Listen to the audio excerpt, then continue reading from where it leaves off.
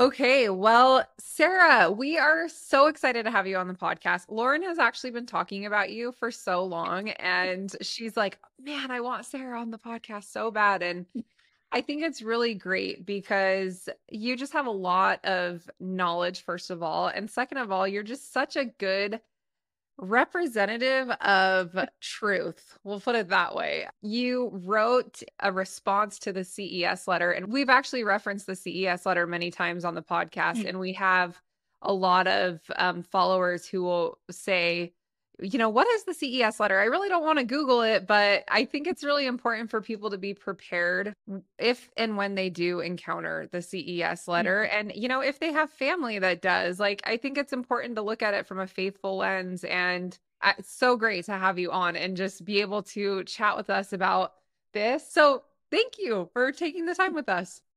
Well, thank you for inviting me. I'm happy to be here. And I, I completely agree. I think it's very important to be able to look at that and, and know what it's going to say before you encounter it. Because if you're reading that for the first time packaged the way that it's packaged in, in the CES letter, it's going to throw you. Mm-hmm. 100%. Lauren, would you mind reading Sarah's bio so we can kind of give her a little bit of an intro? Sarah Allen is a single sister currently living in Utah. She studied journalism and history in college and works in mortgage compliance and fraud. In her spare time, she loves to write. She volunteers with FAIR, where she is a senior researcher and was the 2022 winner of the John Taylor Defender of the Faith Award. She writes for their blog and will be starting a podcast for them soon. She also co moderates the LDS subreddit on Reddit and is a mentor with the Cavalry Facebook group for missionaries. If you've heard of her, it's probably because of her response to the CES letter. Well, Sarah, let's I, would love to hear a little bit about you and your story. What's your okay. background with your testimony? Have you always had a testimony? Did you ever have any struggles with your testimony? What does that what does that look like? Um, well i was born in the church. My families both i'm, I'm also a family. They go back clear to the beginning.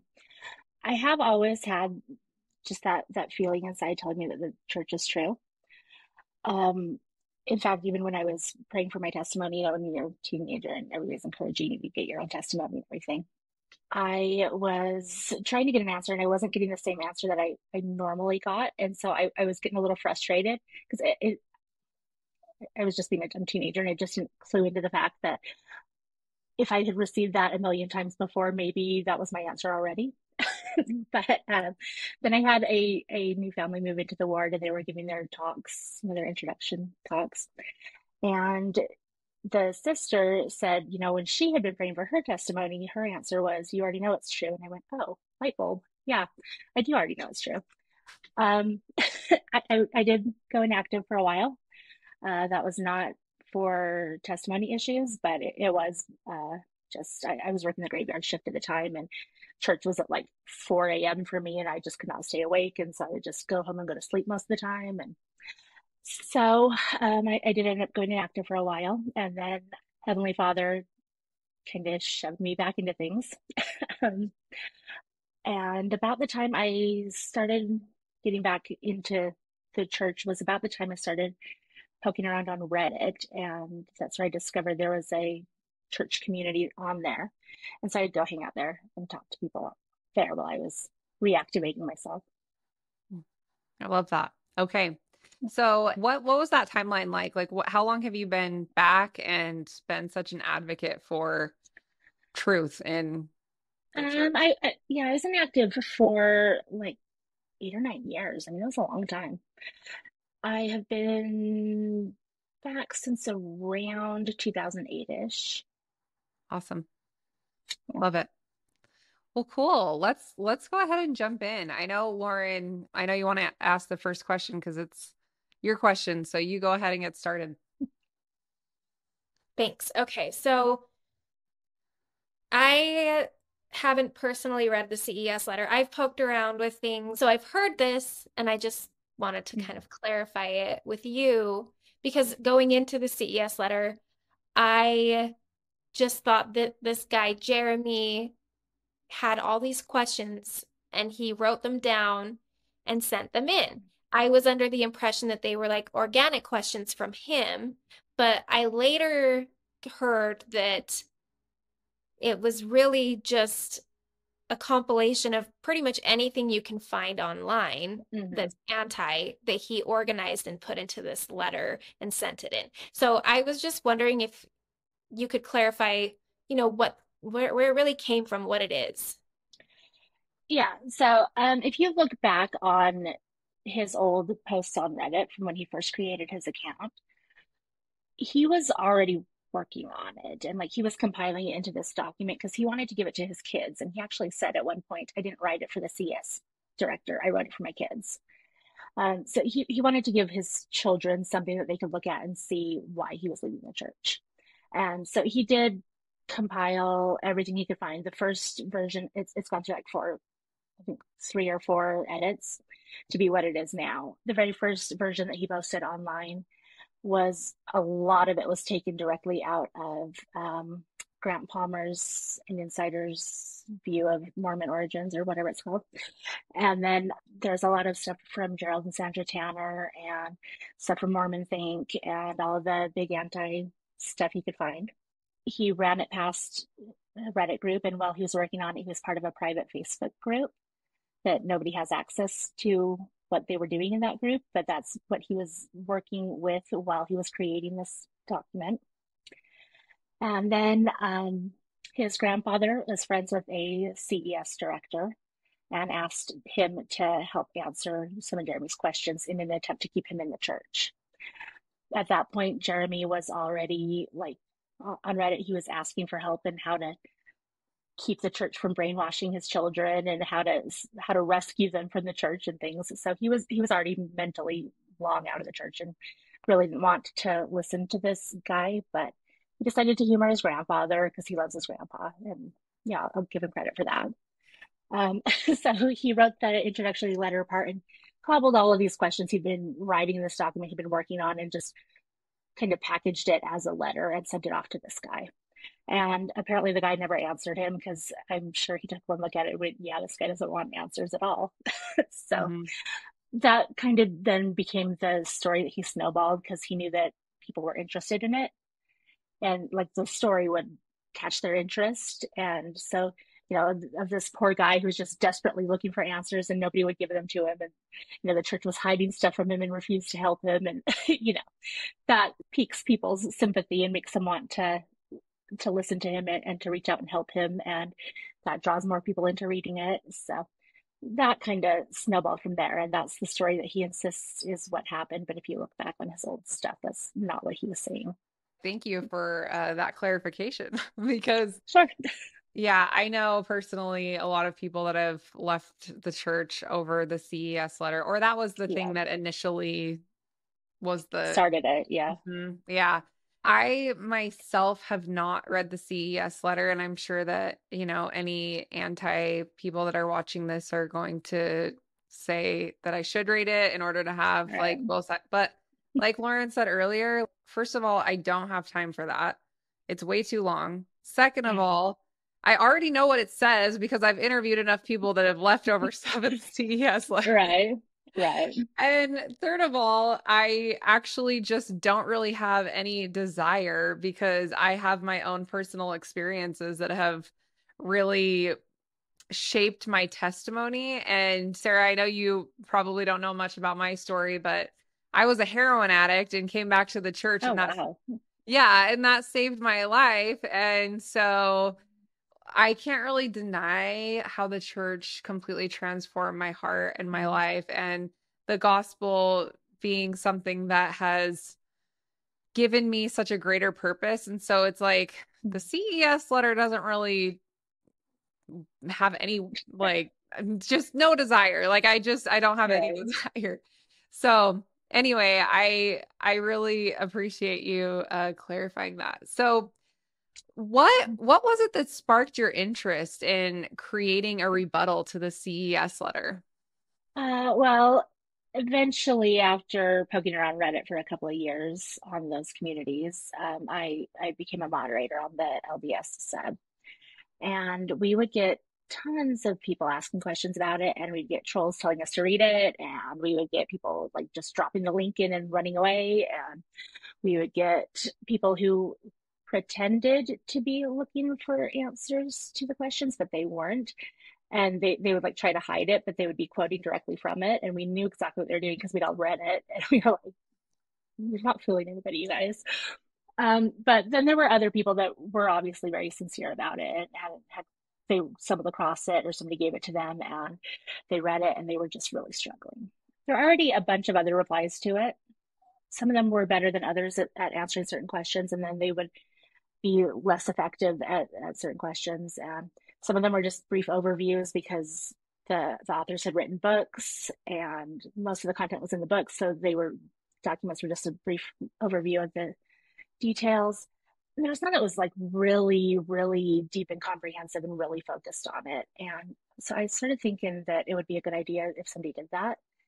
And then Heavenly Father said, okay, go ahead. And I was like, oh, it didn't mean me. but um, he had other plans and he leaned very heavily on me for a few months. And finally, I was like, okay, fine. So I sucked it up and I started working on it.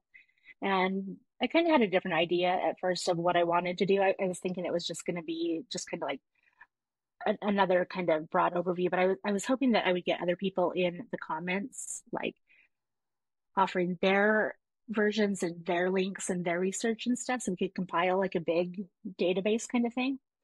And nobody really did, except for one one or two guys. so it it kind of fell on me, and then people were like, "Well, you, you know, um, if you look at my first couple entries, they, kind of they hit on the main points, but they don't go line by line. I had a bunch of people going, "Well, why aren't you addressing everything he says?" So I was like, "Okay, fine." So it it kind of snowballed into something much bigger than I had anticipated it being. Mm, awesome. So when I initially started the podcast and I posted about it on social media, mm-hmm. I got so many anti Mormons coming at me that I almost was like, I don't think I can do this. like so heavily. And it hasn't, that swarm hasn't come for me as heavily. It did on TikTok, but I thought it was really interesting that that that happened right when I announced the podcast. Did you experience that just that opposition? Like do people just yeah. coming for you? Yeah, yeah at first I, I was just posting them on Reddit, and so I got a bunch of people on Reddit coming after me. Um, the the Mormon subreddit, um, a couple of people on there tried to dox me before my name was on it and before anybody knew who I was. The real opposition came when FAIR started reposting them, and one of my co-moderators at on Reddit, he, he's a longtime volunteer with FAIR, and I, I don't want to say too much because I don't want to dox him. He took the posts to Scott Gordon, who was the president of FAIR, and he liked them. And so they asked me if I would repost them on FAIR. And that meant I would have to put my real name on them and I'd have to put my picture on them and they'd have to be like officially mine and, and not just these anonymous Reddit posts that they were before.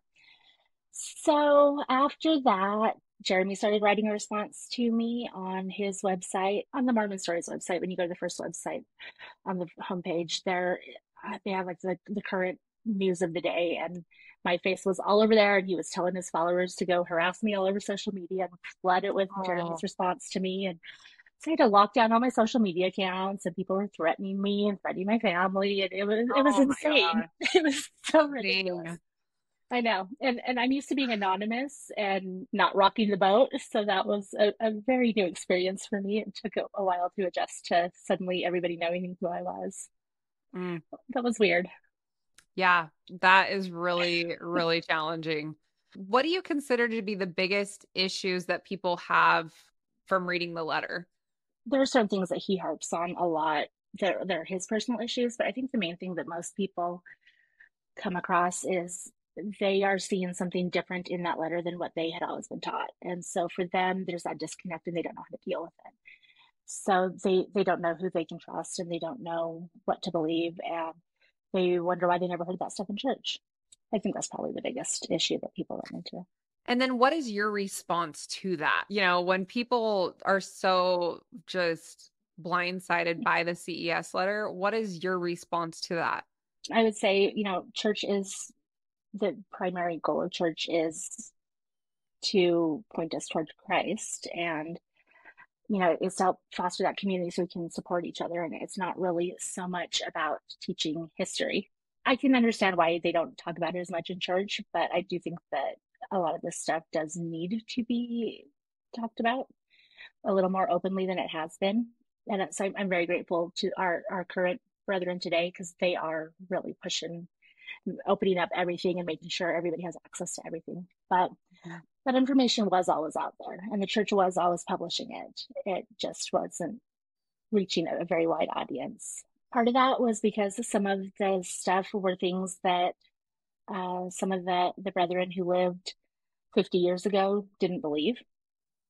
So they, didn't want to spread what they thought was false information. Um, and that it later turned out to be true.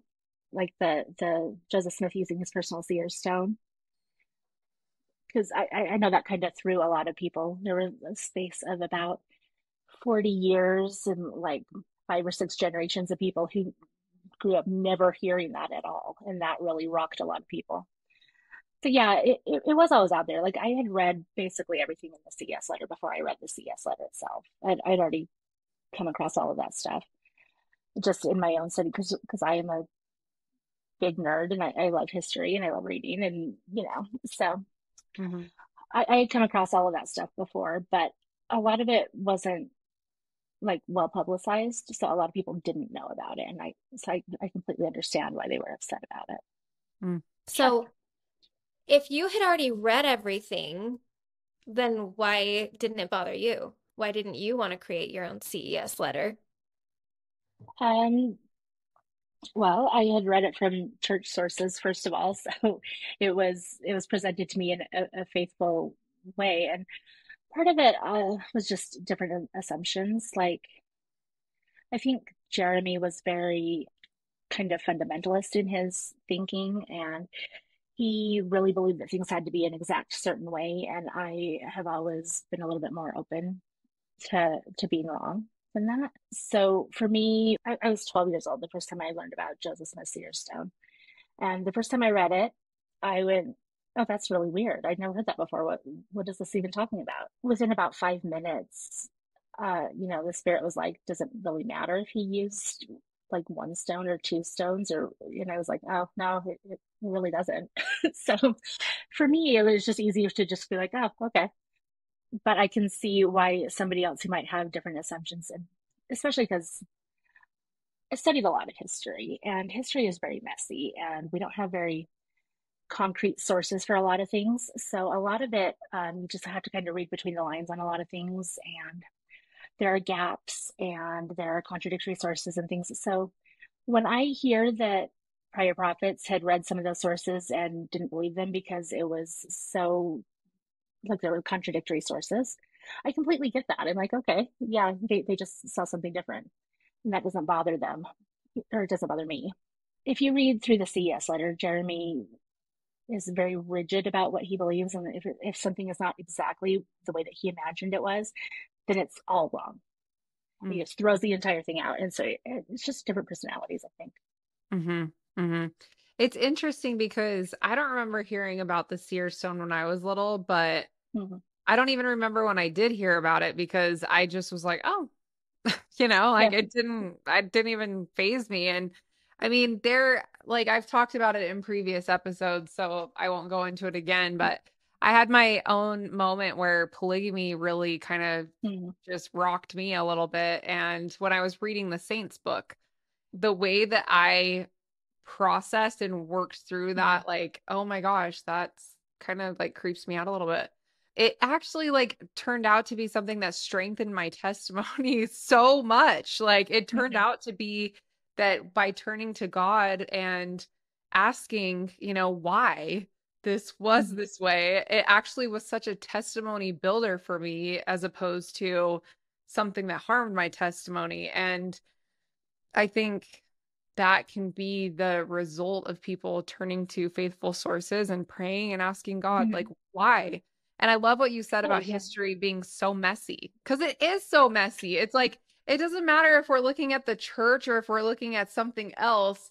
Mm-hmm. History mm-hmm. is messy and you know, you have different people remembering things in a different way and just things Yeah. stuck out to people in different ways. And when we had Don Bradley on the podcast, that was a great, obviously, you know him, and that was a great Yeah. example of that. Yeah, I, I love Don. He's great. And no, I, I completely agree. What I do when I come across something that I don't fully understand is I ask Heavenly Father for understanding so that I can see why it happened the way that it happened.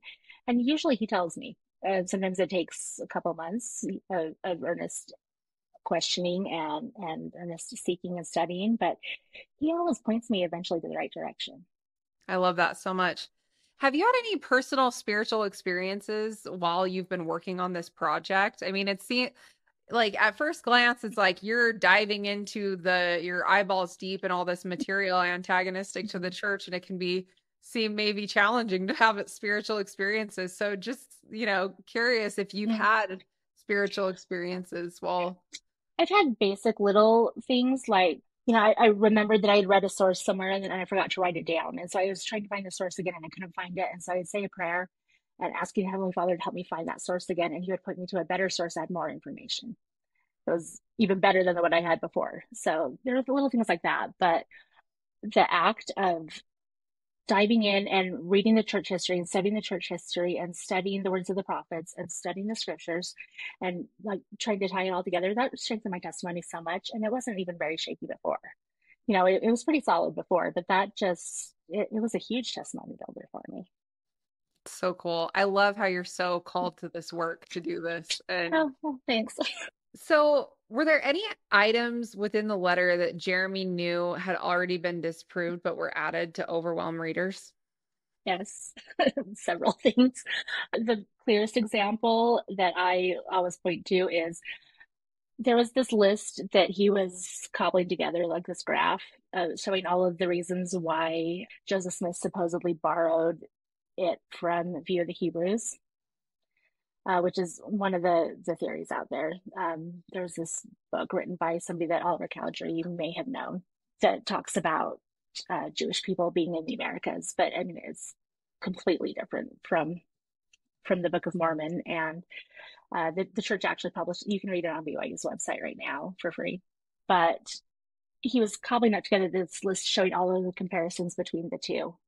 And one of them that he said was that the View of the Hebrews was published in this certain county in Vermont, and the Book of Mormon was first published in the neighboring county in Sharon, Vermont for the first time. And his linked source takes you to the copyright page of the Book of Mormon, where it says right on there, first published in Palmyra, New York in 1830. So he says he knows it's untrue. His own source says it's untrue. Everybody in the world knows, if they know anything about the Book of Mormon, they know it's published in Palmyra. You can go visit the printing press, like the, the site there is a tourist attraction.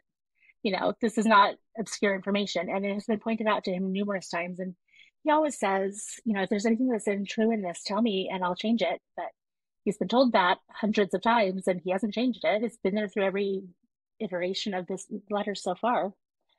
And it is blatantly untrue. Um, and that's just one thing. There, there are others.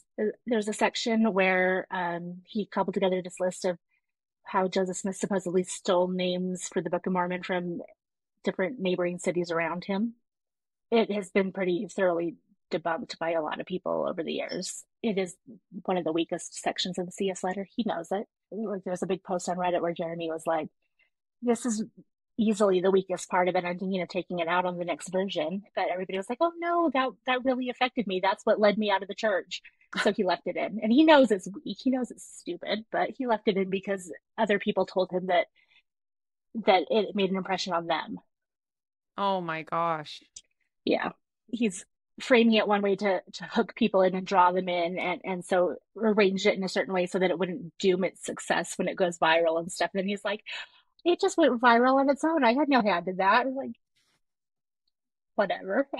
You can look back at his old comments and see that's exactly what he was doing Wow. That's wild. yeah yeah yeah i always quote my sources and i always say who they are and i always link to where i got that information from And he, there are passages in the CES letter that he just lifts wholesale right out of books and websites and stuff, and he doesn't attribute to anybody. And I'm like, that is plagiarism. Citing something is the way you're supposed to do it.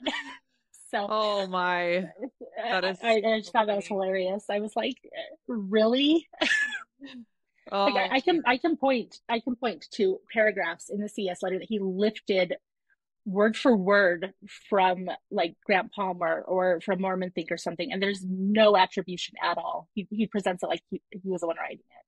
So, what is the most important thing that you would like to tell people about the letter? Like, I mean, specifically our audience who may or may not know about what it says or what what would you like people to know about it? First of all, it is packaged to be as damaging as possible. So dig into the actual truth of things. Do your own studying. Don't take my word for it. Don't take Jeremy's word for it. Look it up for yourself. Figure it out. Talk to Heavenly Father. Keep him in the loop. And you don't have to be scared of church history and you don't have to be scared of coming across something that might rattle you because Heavenly Father will help you through it. Mm-hmm. I love that so much. And I've I found that to be true so much because we come across stuff all the time. You know, now mm-hmm. that we're doing the podcast, we come across all kinds of things people say to us or people that that are talking about why they left and you know mm-hmm. things that rattled their testimony especially on our earlier episodes and that's such great advice so thank you for saying that sure it's how I handle things when I have questions. You know, I, I do my own studying and I look at things from different sides, but I always lean on Heavenly Father too. And I always keep him in the loop. I always tell him what I am questioning and what I'm struggling with. And he always points me to sources that help. You know, sometimes it, it takes a while, sometimes the answers don't come right away, but he always points me to something that eventually helps me to understand things or helps me feel at peace about it, even if I don't fully understand it. Or he he always eventually helps me resolve it in some way that I can I can deal with it and move on. I love that. So, for anybody that doesn't know what FAIR is, you've mentioned FAIR quite a few times. Tell listeners what FAIR is and what they can use FAIR for. So, you can find FAIR at fairlatterdaysaints.org. Um, it is basically a Wikipedia of sorts with a ton of information about any question you might have about church history. There is tons of scholarship. There are links to full resources. They have the entire Journal of Discourses on there. They have presentations. Uh, they do held a conference every year where they have people like get up and talk about research, current research that's going on, and they talk about there's the blog that I write for. Um, I'm doing a response right now to the letter from my wife, Lauren, that you were talking about. Tell us what that um, is. I and I've heard of it several times, but tell explain to us what that is. Okay, so after Jeremy's CES letter came out, there were a whole bunch of other copycat letters that came out. And that was one of them. And that is kind of the, the second most popular one it's less hostile and its tone is a lot more neutral. And so when they know that Jeremy's outright hostility is going to drive people away and so they're not going to listen to the CES letter, they give them the the letter from my wife because it's it's a lot more benign on its face. But he uses all of the same manipulation tactics and he gets a lot of things wrong, like factually incorrect. That you just point to the source and say, actually, it, it says this, you know. Mm-hmm. Um, so he does that a lot, and he miss cites documents like crazy, where he, he just gives like the wrong book that, that it came from and things like that. And that it couldn't have come from because the statement was made five years after the book was published and things like that. Mm. There, there's a lot of factually inaccurate information in it. And it does use all of the same manipulation tactics. And it, it likes to do this thing where it, it doesn't ask questions, but it states things. And then it just lets it hang there like it's supposed to be this big, horrible reveal. And you're just like, what's the problem with, with that? You know? Mm-hmm. so um, that that one was a little different, and I, apparently uh, the wife in question was extremely upset that he would dare use their marriage for something like that, and uh, they are divorced now, unfortunately. Yeah. Okay, got that.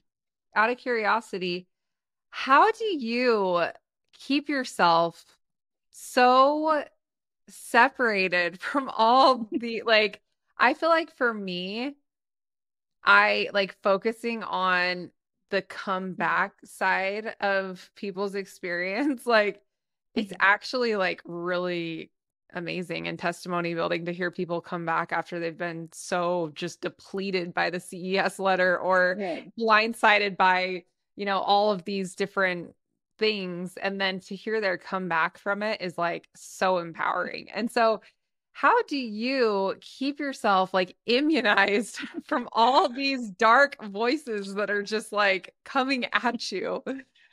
So there are a lot of times I have to get up and, and walk away and take a break because it, it really is. You feel just this oppressive, just gross, dirty feeling. I feel like I have to take a shower a lot. Like I have to shower multiple times a day when I read this stuff, is the way it makes me feel. I find it's really important to take a break and do something enlightening. Like I'll reach for my scriptures and just take a break to reading through my scriptures. Or sometimes when it got a little overwhelming in the CES letter, I would take a break for a week and focus on a talk that I loved and just go through it and talk about that instead of talking about the stuff in the CES letter. That really helped whenever I was feeling especially worn down and beaten down by it all. And praying, praying helps a lot. Um, just immersing yourself in good, faithful, positive things. You have to take your break occasionally because it it just makes you feel gross. Mm-hmm. Mm-hmm. I was actually just talking to my husband about that because I I see so many anti stuff because of the algorithm on YouTube. It's not, I don't seek for it. I don't follow any of them, but like I'm always seeing. And I was telling my husband the other day that like when I was starting to read that letter to my wife, nothing on like a factual basis did I see any issues with what was being said. None of it was like bothersome to me, but it still came with like this dark spirit. Yeah. I I hadn't had my testimony shaken in any way by what I read, but there was still this gross heaviness and like Yeah. Just uh, in church yesterday in testimony meeting, I was just, you know, it's New Year, so everybody's getting up there. And there were so many Yeah. like testimony after testimony. And I was like, this feels so good. I have Mhm. been, and I'm not even that into anti stuff, but I was like, I need to get more into the positive side hmm because you do, you have to counter it. And it doesn't mean that it's true because you feel gross. That's not truth. I think people kind of No, use that. they, they do. And there, there's this excellent, excellent talk by um, Elder Lawrence Corbridge called Stand Forever. You can find it Love that talk. Right, yeah, yeah. Um, and he talks about that that gloom that you feel Mhm. when you read that stuff because it's the absence of the spirit, because the spirit runs away when you read that kind of stuff. So it's not the spirit confirming to you that you know you've been lied to all this time. It's the spirit getting the heck out of there because it doesn't want to be around that disgusting, gross stuff. Mhm. And so it, it that is what you're feeling is just that void of spiritualness. So you need to counter it by immersing yourself in in good positive things like the scriptures and talks that resonate with you and the words of the prophets and just things that uplift you. I love that so much. Thank you so much for sharing all of your wisdom with us. You are just such an incredible person. And I feel like you've been called to such a unique work that is so needed and so just powerful. I think when people encounter the CES letter online, they're like, they don't know like where to turn, you know, Mhm. and Yeah. you create this space for people to find something safe and secure and faithful surrounding such a negative, dark thing. Well, thank you. That that's very, very kind of you.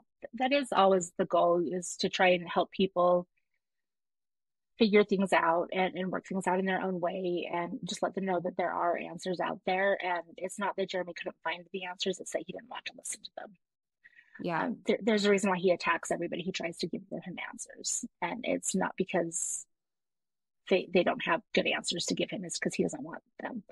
So I, I do feel it's important to just let people know that there are answers out there, and sometimes it takes a bit of work to find them. But if you know, if you bring God into it and you listen to the Spirit and you rely on that, He will eventually help you find those answers. I love that. That's so beautiful. Well, Sarah, is there anything else you want to leave us with before we wrap up today? Nothing in particular, just that, you know, I I do know that this church is true. I love this church. And Heavenly Father will answer your questions if you give him enough time and you put in some of the work yourself to find them. He, he will absolutely help that. I love that. Thank you so much, Sarah. It was such a pleasure having you on. Oh, I had a great time. Thank you guys for inviting me. You're awesome. Thank you so much. Well, thank you. You guys are wonderful too. Thank you so much for being a supporter of the Comeback Podcast and listening to our episodes. It would mean so much to us if you would like and subscribe to our YouTube channel. It helps other people be able to find us, and we want to share this message to everyone.